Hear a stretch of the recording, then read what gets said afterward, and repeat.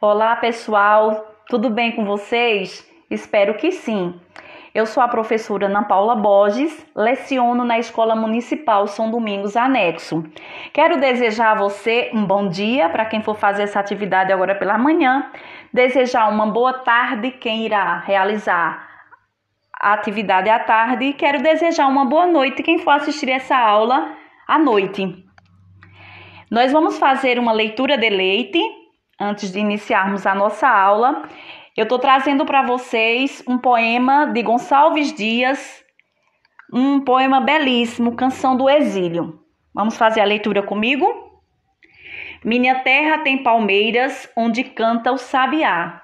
As aves que aqui gorjeiam não gorjeiam como lá. Nosso céu tem mais estrelas, nossas várzeas têm mais flores, nossos bosques têm mais vida, nossa vida mais amores. Em cismar sozinho à noite, mais prazer encontro eu lá. Minha terra tem palmeiras, onde canta o sabiá. Minha terra tem primores, que tais não encontro eu cá. Em cismar sozinho à noite, mais prazer encontro eu lá. Minha terra tem palmeiras, onde canta o sabiá. Não permita, Deus, que eu morra sem que eu volte para lá, sem que desfrute os primores que não encontro por cá, sem que ainda aviste as palmeiras onde canta o sabiá. Muito bem, lindo poema. Pessoal, nós vamos ver hoje na aula é, lugar em que vivemos, trabalhando a disciplina de História. Vamos aprender um pouco sobre a produção do marco das memórias, trabalhando os lugares de memórias como ruas, praças, escolas, monumentos, museus e etc. Lugar onde vivemos. Nós temos aqui o conceito do que é o lugar onde vivemos. Para a geografia, refere-se ao espaço que vivemos conhecemos, onde trabalhamos, estudamos e outro. Já o conceito de lugar se relaciona à nossa identidade, como qual criamos vínculo e demonstramos o quanto esses lugares são importantes para nós. Cada lugar tem uma história que o compõe. Vocês podem ver aqui esse cenário, nessa ilustração, né, o lugar que nós vivemos e somos felizes.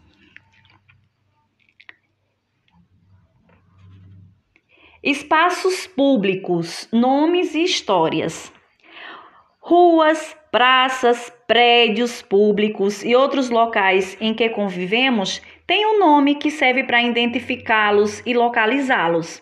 A escolha desses nomes relaciona ao desejo de manter viva a memória de pessoas importantes para uma comunidade ou de eventos históricos considerados coletivos. A gente sabe, pessoal, que é, as cidades elas são formadas por ruas, avenidas, bairros, praças, edifícios, etc. Então nós temos aqui algumas ilustrações dos meninos brincando na rua. Quem nunca brincou na rua, né? É muito gostoso brincar na rua, de jogar bola, brincar num parque. É muito bom. E a escola, estamos com aquela saudade de irmos à escola, como era a escola antigamente, como a escola está hoje. Nós estamos morrendo de saudade da nossa escola, né? Com certeza. Nós temos as praças também que levam nome, inclusive nós temos aqui uma praça que é a praça da nossa cidade de Brejo da Madre de Deus, que chama-se a Praça Nossa Senhora do Bom Conselho. Ela leva o nome de uma santa. Então vocês observem essas ilustrações que aí a gente vai ver que essas ruas, essas praças, as escolas, tudo leva um nome. E nós vamos saber por quê. Ruas, espaços e memórias. As cidades, né, pessoal? As cidades que concentram uma grande quantidade de memórias o que são essas memórias? São lembranças de acontecimentos. Elas se tornam muito importantes.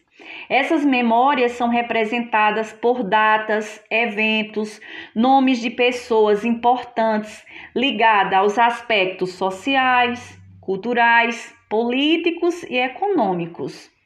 Então, datas ou nomes de pessoas que são importantes, eles costumam colocar nas ruas, nos espaços, fazendo homenagem a marcos históricos da, da, da época, pessoas que viviam naquela comunidade, as pessoas mais antigas.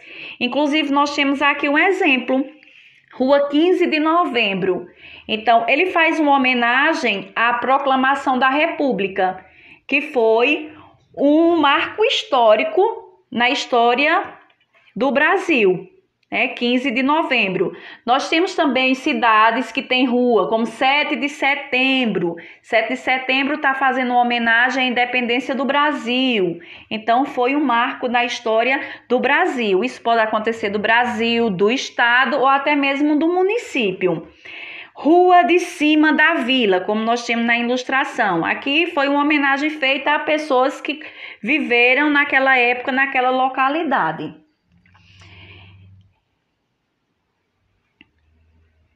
Temos também, pessoal, é, monumentos que representam também essas homenagens, os monumentos né? Que são que obras de arquitetura ou escultura destinada a transmitir ou perpetuar para a posteridade a lembrança de um grande vulto ou de um grande acontecimento. É uma obra que transmite lembranças de acontecimentos ou pessoas importantes. Por exemplo, nós temos aqui o Cristo Redentor, veja a imagem que é um ponto turístico bem conhecido no Rio de Janeiro. Sempre quem vai ao Rio de Janeiro quer conhecer o Cristo Redentor. Então tem esse monumento aí que está fazendo uma homenagem a Cristo e é um símbolo daquela cidade. Trazendo para o nosso município, Brejo da Madre de Deus, a gente tem alguns monumentos. Nós temos o monumento dos Toyotas, que tem um desenho do Toyota, que é uma homenagem aos toyoteiros, por eles receberem uma certa quantidade de picapes, é um tipo de carro, para serem alongados.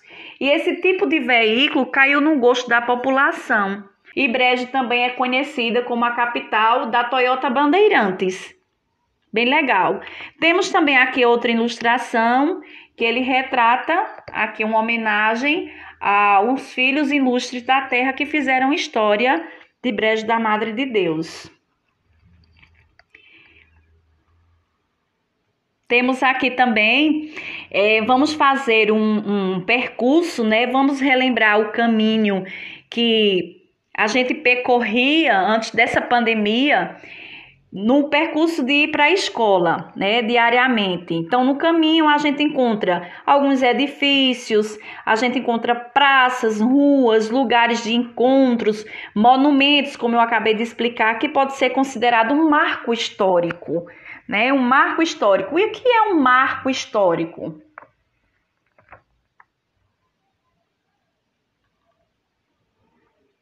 Então vamos lá, o que é um marco histórico?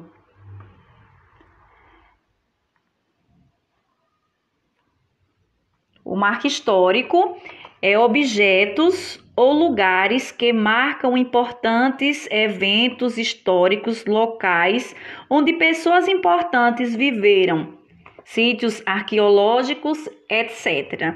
Nós temos aqui, eu trouxe duas imagens para vocês, retratando a história de Brejo da Madre de Deus, o nosso município. Nós temos aqui a Igreja de São José, que ela foi construída em 1792 e é um marco histórico na história de Brejo da Madre de Deus. Temos também o Museu Histórico, que ele foi construído no século XIX. Temos também é, alguns pontos turísticos. Geralmente são pontos né, que atraem os turistas para a nossa cidade. Então, é uma atração turística, chamado também de atrativo turístico. É um lugar de interesse que os turistas visitam geralmente por ser por ter um valor cultural inerente ou exibido a importância histórica, tendo uma beleza natural, artificial, originalidade. E então, trouxe para vocês agora duas imagens aqui, dois pontos turísticos. A gente tem muito mais na nossa cidade, ela é rica, mas nós temos aqui o teatro, o maior teatro ao ar livre, que funciona em Fazenda Nova, distrito de Brejo da Madre de Deus. É o maior teatro ao ar livre que retrata a paixão de Cristo. E nós temos também aqui a Serra da Prata, que é um dos pontos turísticos também que as pessoas vêm visitar. Por isso que é considerado um marco histórico.